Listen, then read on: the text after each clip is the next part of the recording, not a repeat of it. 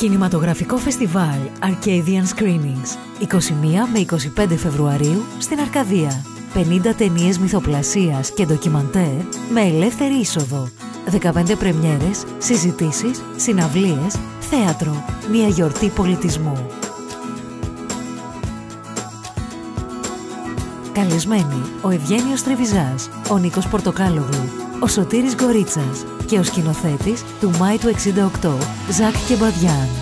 Arcadian Screenings, 21 με 25 Φεβρουαρίου στην Αρκαδία.